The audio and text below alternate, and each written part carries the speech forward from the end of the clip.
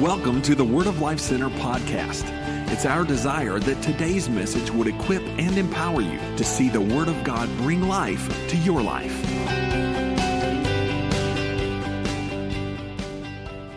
Just say this we are uh, in this series, as you know, it's called Better. And uh, the, the, the, focus of it is uh, making sure that we're getting better at what matters the most and, and talking a lot about prayer and fasting because we want to get better. We want to get better at prayer. We want to get better at fasting. Can somebody say amen to that? As a matter of fact, I've, I've, already heard, I got a text this morning about uh, just something that God has done because of prayer. Someone was believing God for just the right job, and guess what happened? They went to work today, this morning, was their first day on the job. Praise God because of prayer. Amen. It's, just been hearing around the church people talking about what they're believing God for in this season of prayer and fasting, that for clarity concerning some steps that they need to take, some doors to open or maybe close. And so it's exciting. Uh, and listen, when we talk about getting better at prayer, we're not talking about um, getting better in the sense of uh, praying more eloquently. Yeah, you know, it's, it's, I mean, have you been around some people you're like, man, I wish I could pray like they pray. I mean, it's just like so beautiful and so fluid and so it's just awesome. And, and then, and then you're like, okay, God, I'm going to try, you know, I hope this works kind of a thing. And, but, but here's, here's the deal. It's not about eloquence. That's not what we're shooting for. It's about effectiveness. It's not about eloquence. It's about effectiveness. That, that, that's what it's about. When we're talking about getting better at prayer, and fasting, that's what we're talking about. It's not being more eloquent. It's not like that God and the Holy Spirit and Jesus, the Trinity's in heaven, and they grade our prayers like that was a three. Could you try it again? and we're trying to work up to that 10, you know, and that, that that's not it. But, but, but we want to get better at being effective because um, when we pray, when we pray, what happens is this: uh, when it gives God access, and whenever God gets access, He's going to influence. And whenever His influence hits a moment, or hits a situation, or hits a circumstance, His influence or His power causes things to shift or things to change. So prayer, prayer. The reason we want to get better and, and causing our prayers to be effective is because because um, uh, with God, with God, if he can just get a shot, if he can just have access, his influence is going to bring some big differences in and through us. Amen? Tell you a quick story. Uh, a few months ago, uh, my, my, my, wife and I, Sandy and I, uh, took my parents down to, uh, to, to, New Orleans. As a matter of fact, we were uh, at, at, on a holiday with them just a few weeks before, maybe a few months before. My dad just mentioned something. He said, Well, you know, I just really like to go to the World War II Museum in New Orleans. He said, I just don't like the traffic and all that. So, because I'm the most favored son among the Welch brothers, just a joke. really not. But anyway, it's, it's, I, I just called him a little bit, uh, you know, later, a few weeks later, and said, hey, Dad, you know, it's when we're still living in Lake Charles. I said, why don't you, Mom and Dad, just come down? Why don't you come down and, and we'll take you to, uh, we'll take you, I'll just drive you to New Orleans. We'll go to the World War II Museum. He's a history buff. Plus, plus his father and my mom's dad both were in World War II. He's a veteran. Uh, I'm a veteran. My brother's a, uh, a, veteran. We're all combat veterans, and so it just runs in our family. So it was a great, great experience go to the going to the World War II Museum. If you like things like that, I would highly encourage you. If you're ever in the area of New Orleans, make sure you go by that museum. It's it's it's incredible. It's incredible. World War II Museum. So we're walking through the museum and um, I was reminded, I was reminded of this special weapon that uh, America had in World War II, and it was deployed. It was deployed in the in the uh, in the Pacific region, in the Pacific theater. Where we were, we were fighting the Japanese. You probably know the history. Uh, in World War II, we and, and our allies were fighting on two different fronts in the European theater and also in the Pacific theater. But America deployed a very, very special um, tool, a very special weapon and it had great uh, power. It was very, very effective. And, and as, I, as I looked at it, you know, I, had, I remembered it, and I, I, I thought, you know what? That, that weapon that was deployed, it wasn't bombs, and it, and, it, and it, wasn't any type of a chemical. It had nothing to do with bullets, but, but actually it was, it was a language. It was a language that was deployed, that was used in the Pacific theater. And, and, and it won, and because of this, because of this weapon, this language, from a certain group of soldiers in the United States uh, Marines, it turned the tide in the Pacific theater and it gave us great victory over our enemies. And you're like, what was it? What kind of language was it? I'm going to leave you hanging for a minute. I want to talk to you tonight about prayer. give you a few scriptures about prayer. Here's one of my favorites James 5, 17 and 18. James 5, 17 and 18. We're going to talk about prayer tonight. Talk about prayer, hooking up uh, and continuing on with the thought about getting better, better, better, better at what matters the most in regards to prayer and fasting. James 5, 17 and 18 says, Elijah was a human being even as we are. Think about that. Elijah was a human being. When you think about Elijah, you think about all, he's a, he was a prophet, great man of God, did tremendous things, amazing things. One of the things that he did, he was really, really effective in prayer. But, but look, look what, what James included, Pastor James included. He says Elijah was a human being. In other words, he was a human being just like us, even as we are. But he prayed earnestly that it would not rain, and it did not rain on the land for three and a half years. And again he prayed, and the heavens gave rain, and the earth produced its crop. Here's the point that I want to make about this scripture. We have the same opportunities as the heroes of the faith do. We have the same opportunities. Elijah prayed and things happened. And we look at that and we go, but that was Elijah. That was a spiritual giant. That was a, that was a hero of the faith. But here, James said Elijah was a man just like we are. He was a human just like we are. So if, if prayer worked for James, excuse me, if prayer worked for Elijah, I believe prayer could also work for what? For? For us. How many could use some changes? How many could use some shifts in your life? Here's another, here's another great scripture concerning prayer. 1 John 5, 14 and 15. It says, This is the confidence that we have approaching God. This is the confidence that we have approaching God. One of the things that we want to walk away Uh, from with this series is this is that we want to have a confidence. Getting better at what matters the most in prayer prayer and praying. We want to be confident in our prayer life. Can somebody say amen to that let me say it even better than that. We want to be confident in, that when we begin to pray, that something is going to happen. When we begin to pray, we want to have the confidence that when we begin to pray, that gives access to God. And when God has access, He influences. And when He influences, something is going to change. Can somebody say amen to that? In regards to just being confident in that. That if we ask anything according to His will, He hears us. And if we know He hears us, whatever we ask, we know that we have what we ask of Him. Isn't that awesome? To have that kind of confidence. So prayer shouldn't be, here's the point that I want to make prayer shouldn't be our, uh, excuse me, prayer shouldn't be our last resort, but it should be our first response. Why? Because we're so confident when something's up or we just need something to move in our life, it, it, it shouldn't be our last resort, but it should be our first response to that thing or that moment or whatever's going on. We just need to go, you know what? Here's, what here's how we're going to start this thing. We're going to pray. And we're confident that God is going to move and God is going to, God is going to do something amazing.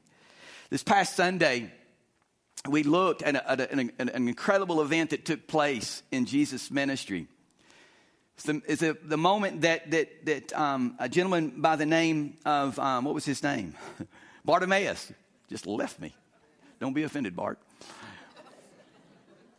Uh, the moment that, that, that, Bartimaeus received his sight, and we looked at that, and we, we, we said, uh, looked at that moment, we, we, we used our imaginations, we stepped back in time and we used our imaginations, and we, we said, well, what, what, did we, what would we have seen in that moment when Bartimaeus, when he is calling out to Jesus?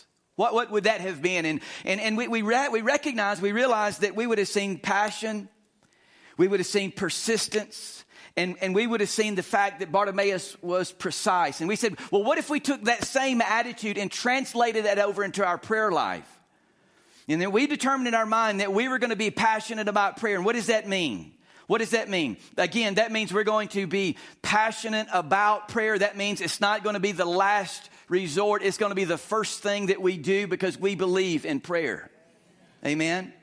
But we also saw this. We saw the attitude that he had that, he, he, that Bartimaeus was just persistent, and then how that we too can be persistent in prayer. And I'm gonna we're gonna unpack this one in just a moment because I really felt like for tonight we needed to unpack that that one word persistent, and we're gonna dig into that one. But we also saw the word precise.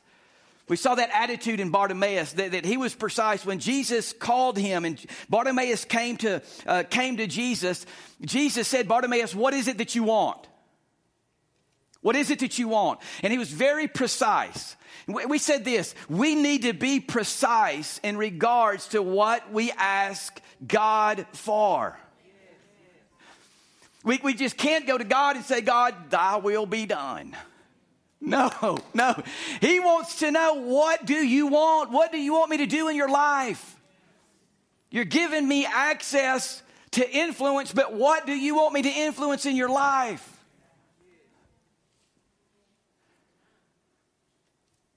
So we talked also about a couple of roadblocks, going back to persistent because I want to unpack that. I feel like God wanted us to unpack this one tonight. The Holy Spirit wants us to unpack this one couple roadblocks to pers- being persistent. Once we talked about this on Sunday, and that is prediction, uh, persistence the greatest, one of the greatest enemies of persistence is prediction. Simply what that means is, is that when we begin to pray, uh, we can get in trouble if we try to predict as to how God is going to answer the prayer. We, in other words, we frame it in our mind and we believe God is going to work this way because we're praying. But I can tell you uh, so many times in my life that, that, that, that, that I, I, would put, I would put God in this box saying, God, I believe you're going to move this way when I pray. Only to realize he's not going to get in John's box and John's mind can't even comprehend the ways that God can answer my prayers. And how that it's important that we need to determine in our heart and our minds that something that we need to add to our prayer life is God, help me recognize the answers when you roll them into my life. Because what can happen is, is, is that if God doesn't move within our framework, we just stop and we give up and we give in and we say, God, you're not working in my life. What is it about you're working in other people's life? Well, well, maybe if you just would have hung in there a little bit longer, or maybe, maybe, maybe if you just wouldn't have determined how he was going to work and begin to say, God, just help me see the answer. I know that it's coming. I know that it's coming. I know that it's coming, and I'm not going to quit till I see it. What would happen? So prediction can be a, a, a roadblock. But, but here, here's, another, uh, here's another one that can be a roadblock to persistence. You got your, you got your ears to hear? Are they on this evening? All right. Here's another roadblock it's understanding, or the lack of understanding. So, so, so, what happens when we come to a place where we don't know how to pray? In other words, we want to be persistent we, we want to grab a hold of something and not turn loose, and we're going to hang in there and we're going to hold on. We're going to pray and we're going to contend for God, with God, not with God. We're going to contend for God's answer. We're going to hang in there uh, to, to, to, to do that through prayer. And we're in there, we're in there, we're with it, we're with it, we're being persistent. But what happens when we come to a point where, like, I'm just out? I, I don't even know, I don't even know how to pray anymore. But yet, but yet, I know God hasn't answered, but I, I, I what, what, what, do I do? Because I haven't seen God. I haven't seen the answer yet. What, what, what do I do? Well, so the answer is this. The answer is this. You have to shift your method. You have to shift your method. 1 Corinthians 14, 14, and 15, Paul talks about two methods of prayer. He says, For I pray in a tongue my spirit prays, and my mind is unfruitful. Watch this, verse 15. So what shall I do? I'll pray with my spirit, but I will also pray with my what? My two methods of prayer. He said this again, he said, So what shall I do? I will pray with my spirit, but also pray with my what? My. One translation says, I will pray with my spirit, but I will also pray with my what? My mind, my understanding. Here's the point. There are times when we're praying that we can pray with our understanding we're praying with our understanding. We're praying with our understanding, but, and it's working. We know that and we can be confident in that. But there can be times that the enemy, the enemy can come in there and he can throw seeds of doubt to, to make you, uh, to lure you in to thinking your prayer's not working. How many believes that the enemy hates it when we pray? he hates it. In other words, that's the reason he hates this 21 days of prayer and fasting. right? That's because he knows something is up. Amen.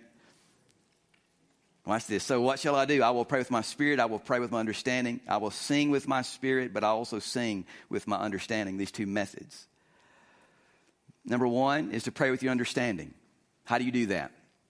How do you pray with your understanding? How, how do I do that? How do I pray? Method number one. How do I pray with my understanding? It's very, very easy. You pray the word of God. Can I have a better amen than that? So, whatever you're dealing with, whatever you need, what you need to do is you need to go and find out what God's word says about it. For example, people before have asked me over the years, they said, Well, Pastor, how can we pray for you? One of my answers that I always give is that uh, pray for me in regards to wisdom. That's what I want. I want wisdom. You know why? Because that's something that I pray for all the time. God, give me wisdom. Because the Bible says in James chapter 1, James chapter 1, the Bible says, if any of you lack wisdom, ask of God, who gives it generously without finding fault, and it'll be given to you. So th- this, this, is what, this is what I do.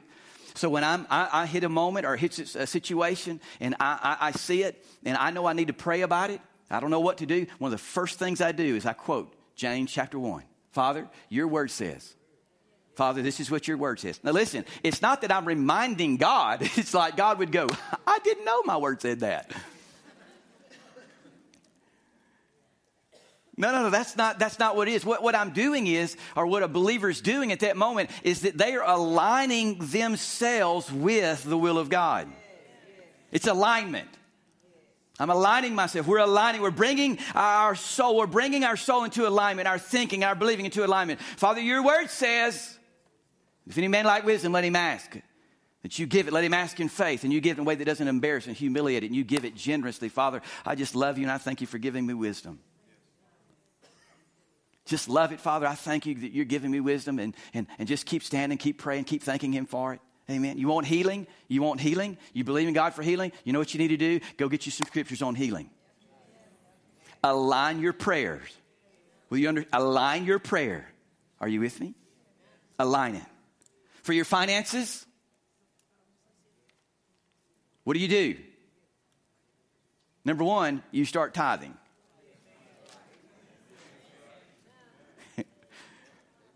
Start there, right? And then and then you, you begin to you begin to align you take other scriptures philippians 4.19 i believe that my god meets and supplies all of my needs according to his riches and glory by christ jesus father i just thank you all my needs are met in the name of jesus Amen. That's, that's, that's method number one. And you know what? Anybody can do that. Everybody can do that, can't you? You can go find you a promise and you can stand on that promise and you can align your will with that promise and you can begin to pray that promise. Everybody can do that. Isn't that right? It's just not that hard. Amen. So, what I do is that I use the language, I use my language to release my faith. My learned language. I, I use that. I use my learned language. But there are times, there are times you're like, man, I just, I, have I've prayed every scripture, Father. I prayed every one of them. But you know that I, you just still need to be persistent. You just don't need to stop. You just don't need to back up. You ever been there? Just like, uh, I just want to keep praying. What do you do? Well, you shift over to method number two. Aren't you thankful for method number two? You say, some of you already know what it is. It's praying in the Spirit. It's praying in tongues. How many are thankful in this house? I said, How many are thankful in this house that we can pray in the Spirit? Aren't you thankful that God did not take away what He gave the early church? you, you do realize we're part of the same church. We're, we're part of the same church. It's not a different church. It may be a different generation, but it's the same, under the same dispensation. Can I have a better amen than that? We're part of the same church. And so, method number two, Paul, Paul talked about. It. He said, "I pray with my mind. I pray with my what, my what, my understanding, and I release that with my language." But the, the method number two, he said, "I pray with my spirit." I pray with my spirit. You see, when you were created, when you, when you were created, God created you this way that you were created with a soul. It's your mind, will, and emotions. It's what your understanding is. It's what Paul was referring to a moment ago in method number one. But the, the Bible also says that you are created in the image of God. Therefore, you are a what? You are a spirit.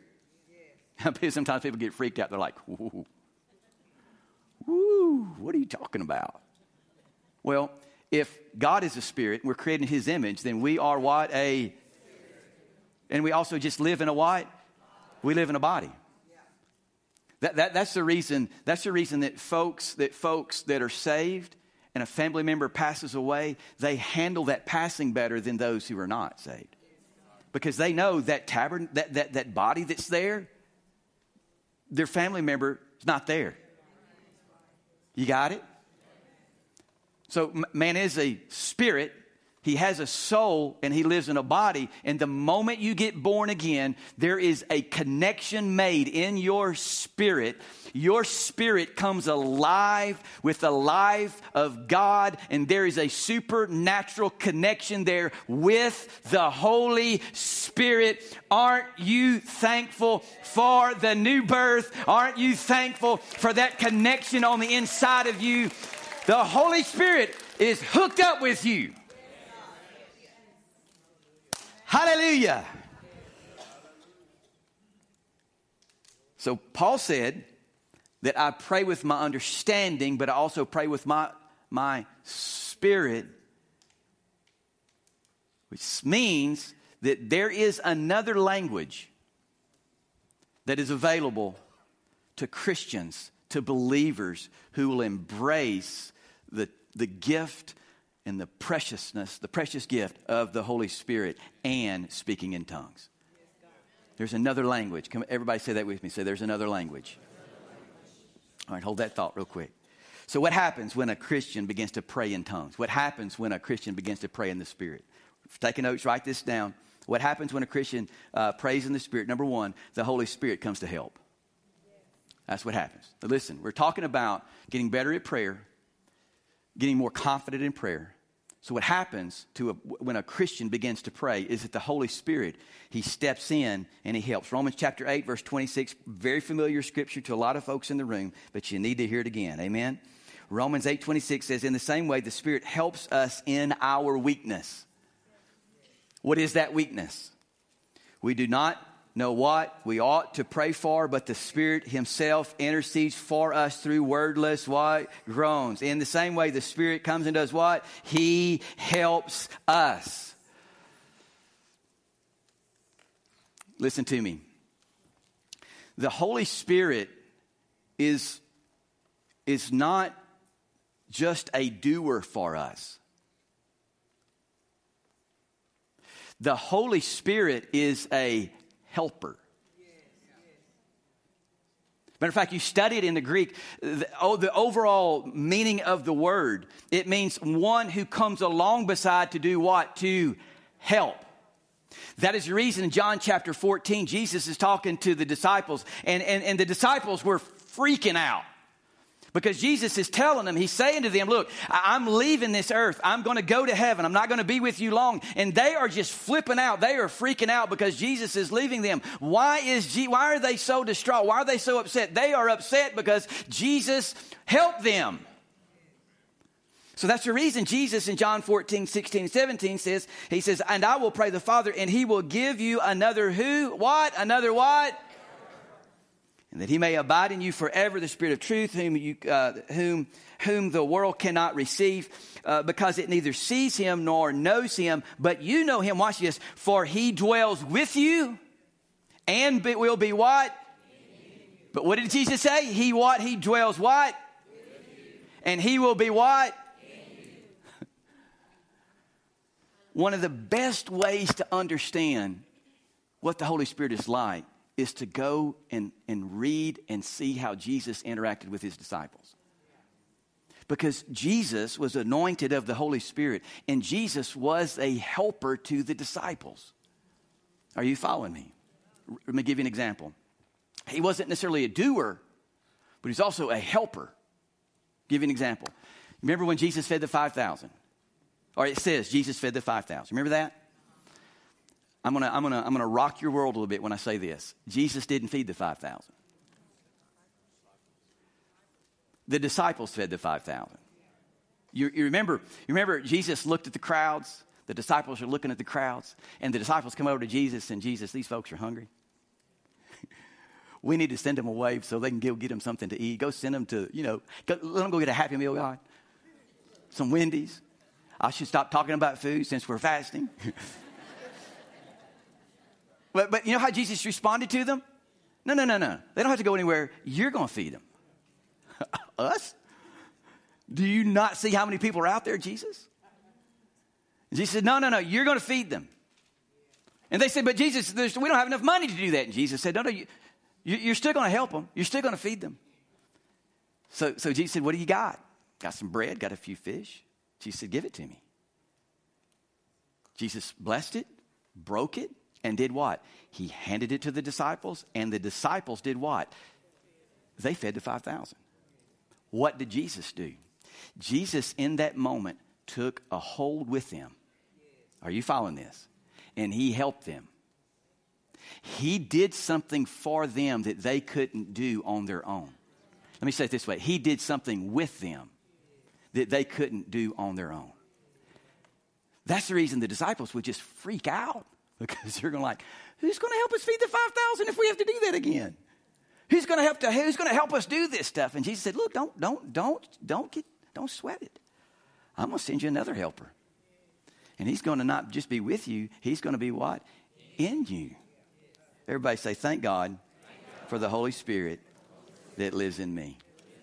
So when a Christian prays, there's also alignment that takes place.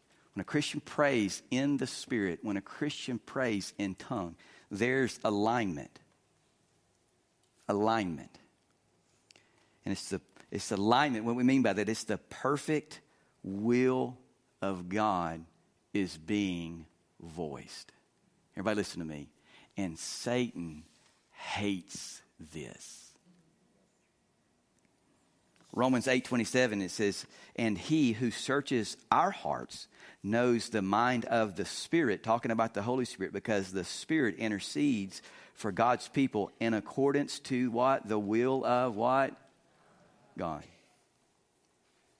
1 John 5, 14 and 15 says, if we ask anything according to his will, he what? He, if he ask anything according to his will, he what?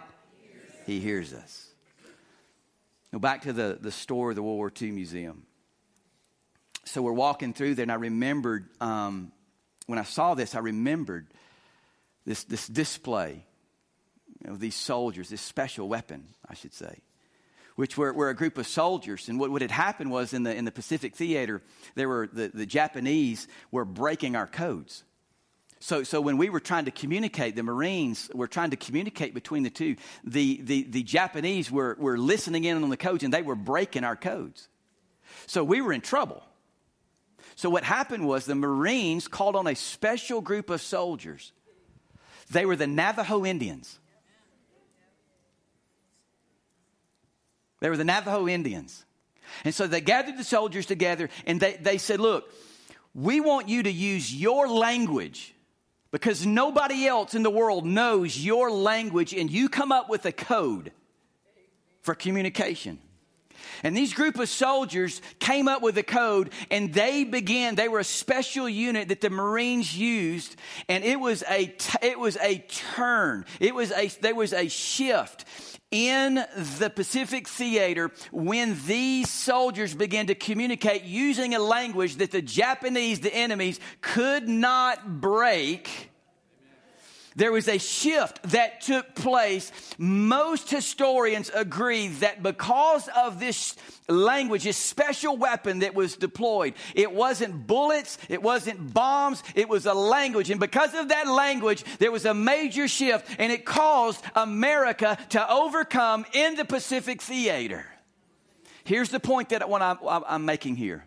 When a Christian begins to pray in the Spirit, what happens is there's a language that he that, that person begins to speak. It's not English, it's not Italian, it's not a known language. It is a prayer language from heaven, and it may sound just like a bunch of fumbled up words and strange words as someone standing nearby. But what happens is when a person, when a Christian begins to pray and they begin to pray in the Spirit, what happens is is that that, that there is a language that's being released, and in that language, God's perfect will is being voiced. God doesn't hear any jumbled up words. What God hears is His perfect will being voiced. It's a language that He understands, and it's a language that He responds to.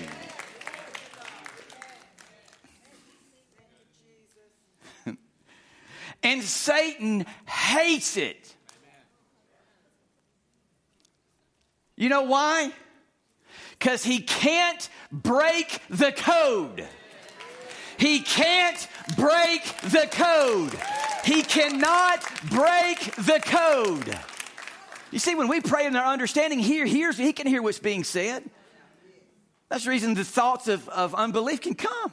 I'm telling you, when you shift over to the other method and you begin to pray in the Spirit and you begin to pray in tongues, what happens is he has no idea. He has no idea what's being spoken. But all, but, the, but, that doesn't matter. What matters is God knows what's being said. And it's alignment. There's an alignment. The Holy Spirit, because the Holy Spirit knows the exact and the perfect will of God. That's the reason, that's the reason Satan has worked overtime in the church He's worked overtime in the church, convincing folks that tongues aren't for today. Let, let me ask you a question. Why would God the Father give the early church, the church that we are a part of today, that privilege and that weapon and that gift, but not give it to us? Why? Because you remember, Paul said, Romans chapter 8, he said, when we don't know how to pray as far as we should, we're at a place of weakness. Right? So the early church could shift. The early church could shift over to the other, method, uh, the other method and pray in the Spirit. Well, I just believe we can too.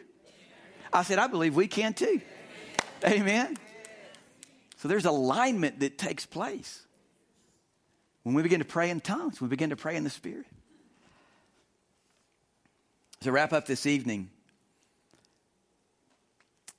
when a Christian prays in the Spirit, when a Christian prays in tongues, God responds. He responds.